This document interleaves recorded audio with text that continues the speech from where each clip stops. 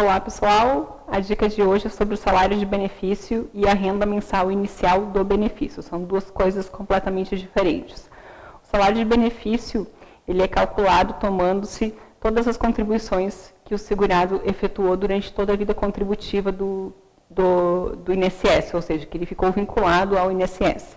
Então a gente pega todos esses valores desde julho de 94, atualiza e faz uma média simples e exclui os 20% menores salários de contribuição. Esta média simples é denominada salário de benefício.